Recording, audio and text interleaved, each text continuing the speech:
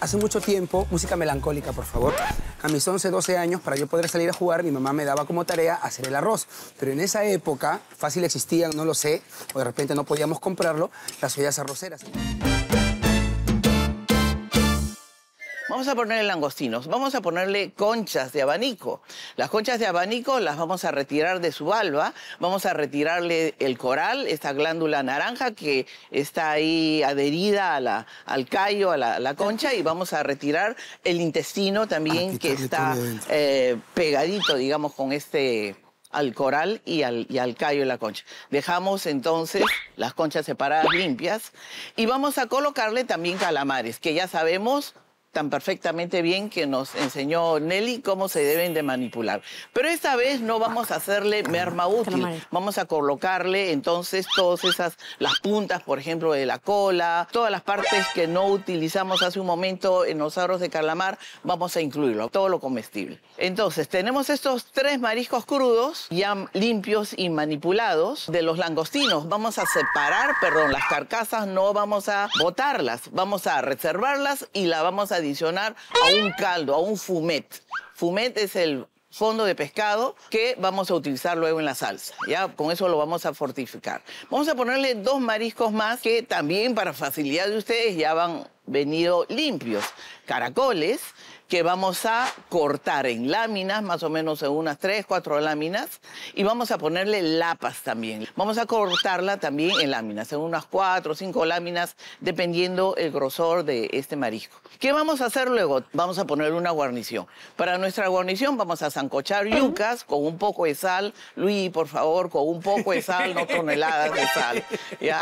No se preocupe, no ya se luego lo vamos a cortar en este, bastones y lo vamos a freír. Eso va a ser la guarnición de nuestro plato. De ahí, ¿qué vamos a hacer? Vamos a hacer como una pequeña pre preparación dentro de la mise en place para que luego podamos hacer la salsa. Las conchas de abanico ya están limpias todas, vamos a saltearlas. ¿Ya? Un poquitín de aceite, un poquitín de mantequilla, temperatura moderada alta, porque si lo ponemos a temperatura baja empieza a perder todos los líquidos y no dora, no sella. Entonces vamos a saltear nuestras, nuestras conchitas, le ponemos de luego un chorrito pequeño de vino blanco y al cabo pues de un minuto o dos lo reservamos. Luego el resto de los mariscos que teníamos ya avanzados dentro de nuestra mise en place, igual. Vamos a calentar en una sartén mantequilla y con aceite, obviamente, para que no se, no se queme la, la mantequilla y vamos a saltear los mariscos que quedan. Nuestros mariscos que quedan, ¿cuáles son? Son las lapas, los caracoles, los langostinos y los caramares. Ya los vamos a saltear también, temperatura moderada alta.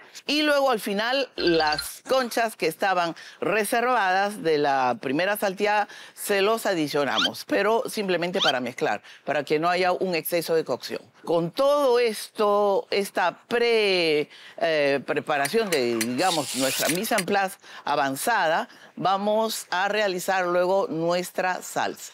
Muy bien, yo le voy a hablar de la salsa. La chef Patty les ha explicado muy bien cómo tener este salteado de mariscos. Eso lo van a reservar. esos mariscos van a soltar una esencia muy importante que no la pueden perder. Ese juguito que va a soltar los mariscos mientras están descansando, luego lo vamos a incorporar a la salsa. Pero contemplen que ahí hay sazón, que ahí hay un buen punto de sal. Entonces, a lo largo de la preparación de la salsa, vayan con cuidado con la sal.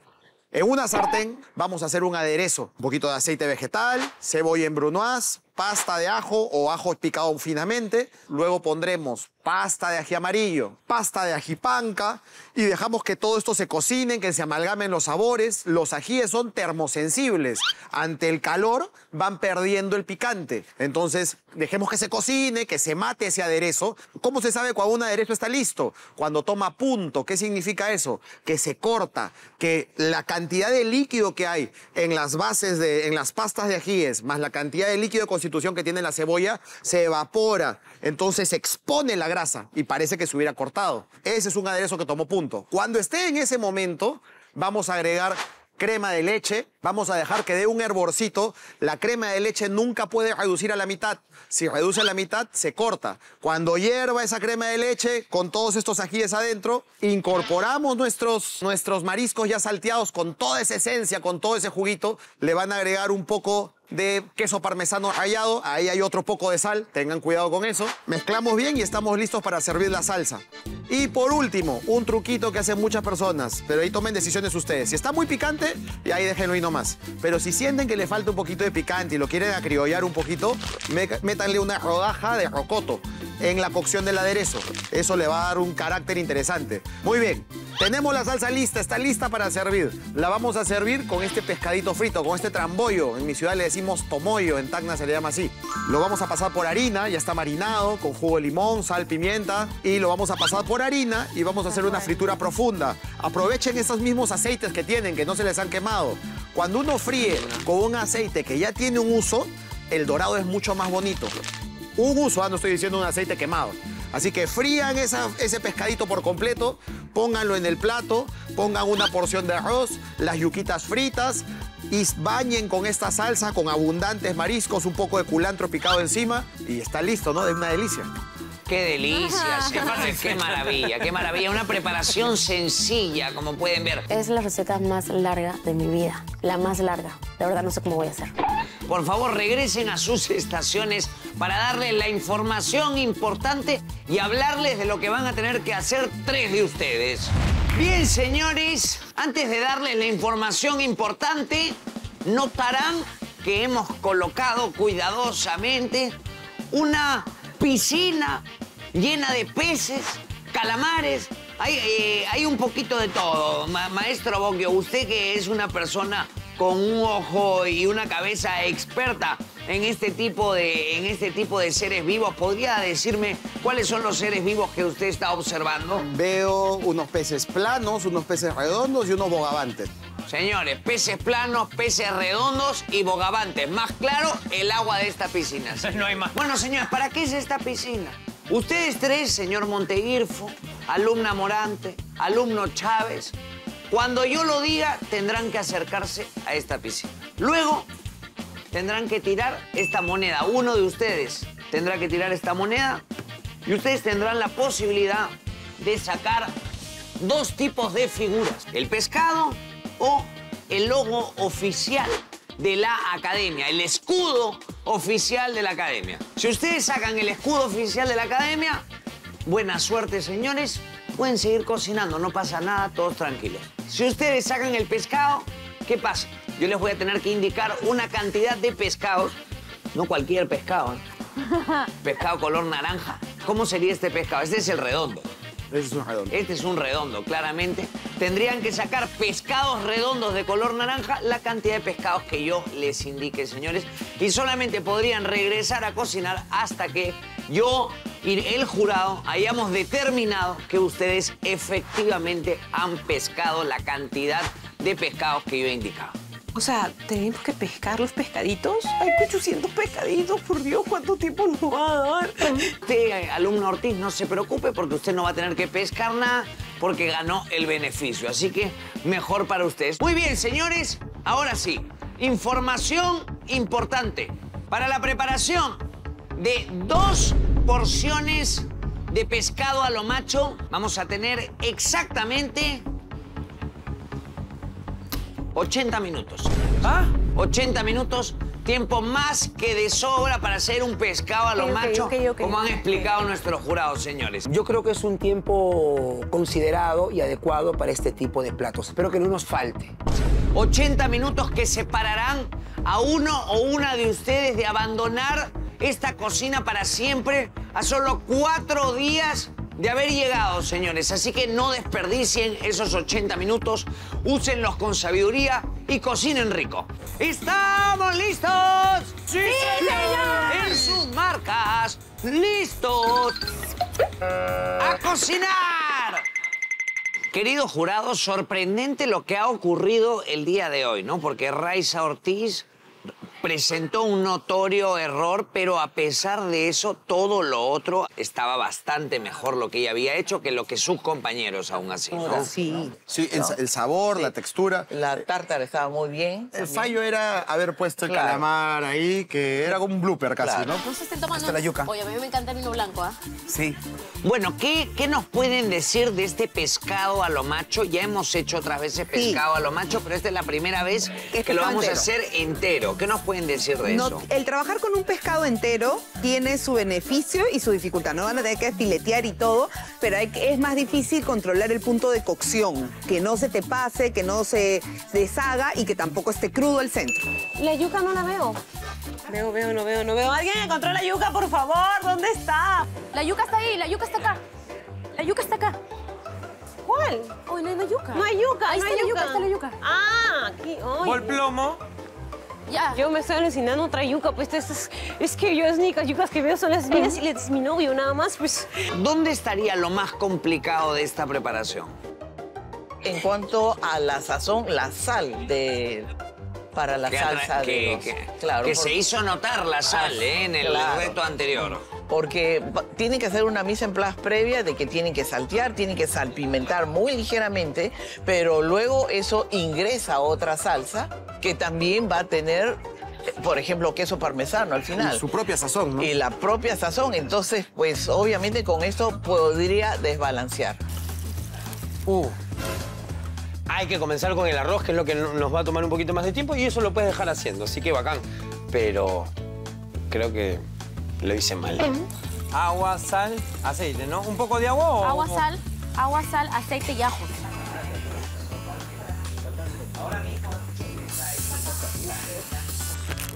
Primero calma, calma, corazón, calma. Alumnos, quedan 70 minutos, 70, 70, vamos, vamos, señores, apúrense, vamos, que el tiempo se pasa rápido. Hay que sangocharla, pues, ¿no? ¿Qué? Hay que sangocharla. ¿Qué cosa? La, yuca.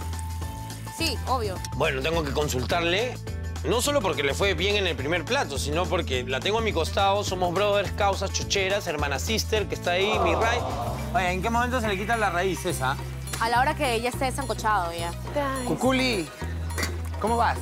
Eh, las yuquitas se están haciendo, amigo, ya. Y el arroz voy a hacerlo ahorita. Ah, ya, buenas. ¿Cómo vas tú? Igual, eh, maquillando, maquillando el pescado. Ah, ya. ¿Limpiando el pescado? Maquillándolo. ¿Cepillándolo? Al parecer tengo más dotes de maquillador que de cocinero. En vez de cocinar, me ha provocado maquillar. Atención con mi arroz, no te vayas a olvidar, Guguli, no te vayas a olvidar. Langostinos, sí, sí, sí, sí. He estado ahí practicando, porque obviamente tengo que practicar. Descascarar y limpiar. Súper importante, limpiar. Lavarse las manos, amigos. Le vamos a plagiar un ratito por las estaciones. No le eché nada de sal. ¿Cómo vas, amiga? Ah, ya. Ah, chévere. Hierve y le echas su salsita. Ok, ¿Ahí vas a hacer el arroz? Sí. Ah, ok. Creo que la fregué. Creo que la fregué. No, sí, la fregué. Mi caldo, mi caldo, amigo. ¿Qué fue? La- lo puse acá, con la yuca. La fregué. La yuca, me habían puesto el caldo y metí la yuca. ¿En qué? Ay, no, Dios mío, ¿qué estoy haciendo? ¿Qué estoy haciendo? ¿Qué estoy haciendo? Sácala, ya. Vamos a salvar este caldo. Ojalá que no le quite el sabor tanto.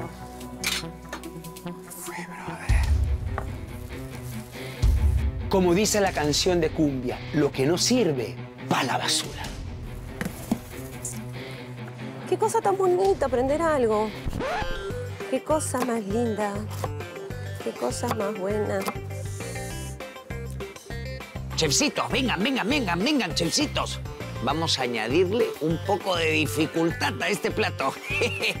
Señores, momento. Señor Monteguirfo, señor Chávez, señora Morante, quedan 60 minutos. Y ha llegado la hora que ustedes estaban esperando. La hora de jugar, la hora de tirar la monedita, la hora de pescar, señores. Señor Monteguirfo, adelante. Llegó la hora de comenzar a perder el tiempo, rayos y centellas. Ya, ¿quién va a tirar la moneda, señores? Ojito, ¿eh? El tirado de moneda es así. Así es el tirado de monedas. Primero las damas. ¿Quién va a tirar? Muy bien, primero era ella. ¿Y ahí?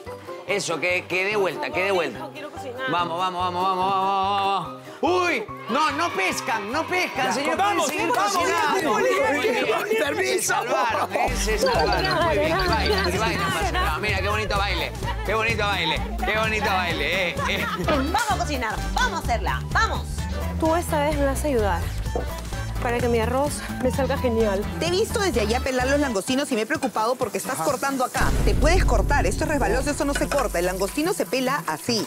De, lo volteas por la parte ventral, Oh, no ok, por la dorsal, y mira, Sale rapidísimo el exoesqueleto, todo esto. Y el langostino te queda entero y bonito. Tiene que verse así. Porque, claro, así, mira, Ah, acá hay exoesqueleto y mira cómo está de destrozado. Gracias, Nelly, por ese consejo, de verdad. Ya, si esta no sale, caballero sin arrocito nomás. Esto aquí. Uculi, ¿cómo vas? Hola, ya hice mi arroz, mi yuca, que no sé en qué momento tiene que estar. Aquí está Perfecto. picado, está picado, eso es merma. Me y gusta estoy y te empezando a felicito cortar. que estés armando así tu mise en place Sí. y ya puedas trabajar mejor. ¿Has voy- limpiado langostinos antes? Eh, no, nunca. Ya, entonces mira, vas a quitarle esta parte de acá, por la parte ventral, vamos a quitar el exoesqueleto, que es este esqueleto medio. externo que tiene por el medio, Y en el agüita era. sin cortar. Ujú. Mientras me vas Retiras. hablando, voy llenando agua. Sí, sí, dale, dale, anda avanzando. Sí. Y quitas esto de acá. ¿Ves? Te queda Sí, hasta ya la colita interna. todos los y la parte de arriba, con el cuchillo de oficio, este de acá planito, Ah, genial. ten cuidadito, Mira, cortas, acá arriba ellos tienen una tripita negra. Sí. Pero dijeron que se salía en el agua, lo saco. Retiras Sa. y ya Ay, está. Genial.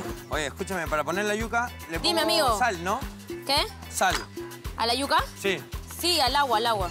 Las conchitas son buenas para la decoración. Sí. Y acá, dos tipsitos que te voy a dar. Dale. Fíjate bien en la cocción del pescado. Este es un pescado delicado, Ajá. pero tienes que fijarte que la cocción vaya hasta el fondo. ¿Ya? Entonces es un pescado suavecito. No, no es ¿No? necesario. No, aparte se deshace. El tramoyo Oh, ah, se deshace. dale. Y las conchitas, cuando les des esta sellada de mantequilla con aceite, que selle bien, no las muevas al toque. Como dijo la chef Patty, si no van a sudar, va a botar su líquido. Se van a secar y no va a dorar. Raiza, ¿cómo estás? Profesora. Bien, o sea... Ay, se has destrozado sí, sí, el langostino. Sí, ya me di cuenta. Ya escuché por ahí que tengo que volver. Ten presente que el exoesqueleto sale así facilito Ok. y que tienes que tratar de presentar el langostino entero. Si fuera una hamburguesa de langostinos, Claro. digamos, esto funciona, porque vas a picarlo y lo vas a destrozar. Pero si se va a lucir, tú quieres que se vea bien. A todas las personas que me han instruido en la cocina, discúlpenme. Creo que no les puse la atención suficiente. Y nada, solo obsérvenme y diviértanse con mis errores, por favor. Son cuatro y acá hay cuatro. ¿Para qué? Ya está. Si lamentablemente el día de hoy me tengo que ir, yo creo que mi familia va a estar contenta conmigo. Ellos saben que no cocino nada, nunca he cocinado en la casa. Para ellos verme acá es un logro.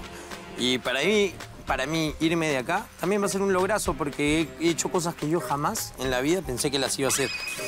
Está, pero como los dioses. Otro emprendimiento que voy a realizar en mi vida. Es que así somos los artistas, queremos hacer de todo. Arroz, arroz, arroz. Me descubrieron. No he usado medidas para el arroz, pero ¿por qué? Porque hace mucho tiempo, música melancólica, por favor. A mis 11, 12 años, para yo poder salir a jugar, mi mamá me daba como tarea hacer el arroz. Pero en esa época, fácil existían, no lo sé, o de repente no podíamos comprarlo, las ollas arroceras. Entonces no me quedaba de otra que preparar mi arrocito en olla. Es más, yo me acuerdo que le poníamos una bolsita aquí encima para que el vapor no salga, ¿no? Pero, este... ¿Acá hay bolsita? Pero lo voy a poner aquí. Ahí está, algo así. Amorcito de mi corazón, hijito mío, si quedo eliminada el día de hoy, al menos sabes que he dado lo mejor. Estoy aprendiendo acá es un reto nuevo y estoy aprendiendo todo esto por ti para hacerte los mejores platos. Bueno, si el día de hoy me voy, solo quiero decirte, hermana, que hice lo que pude. Pero no te voy a decepcionar, ¿sí? Lo voy a lograr. Vas a ver.